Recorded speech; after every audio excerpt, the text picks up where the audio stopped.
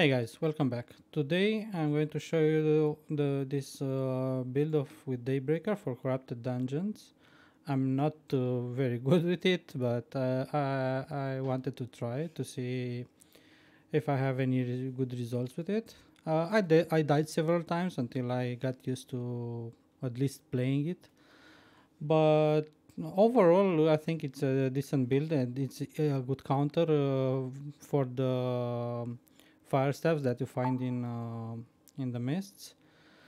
Uh, I don't have a lot of specs in it, as I don't have a lot of specs in uh, spears. As you can see, I only have a regular spear and spirit hunter, and I just grinded Daybreaker to 68. I had zero when I started, but I, I, I just put some uh, fame credits in it. So the build goes like this.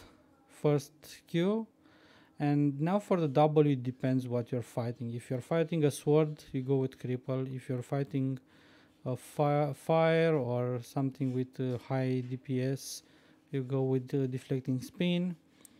If you want to deal damage, you go with impaler. Uh, and if there's uh, there are kiter builds like Badons, Warbow, Arcane, you go with harpoon. I'm using the second uh, passive and then I go reflect on helmet and assassin jacket. I go with inferno shield um, most of the times but you can also go with amb ambush. Rejuvenating sprint on boots roast pork and heal pots. And as swaps for PvE you, I have some poison potions and uh, catfish.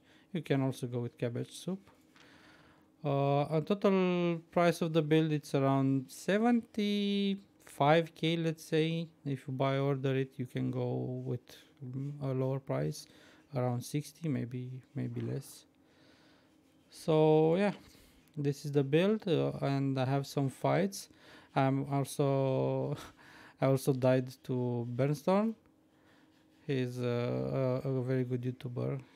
But i just i got so lost when i saw him. I was like uh, i'm i'm a big fan of him. So yeah. He just killed me chased me and killed me. I, I messed up a lot there. So yeah i hope you enjoy and maybe you can grab uh, this build and uh, you can use it in corrupted dungeons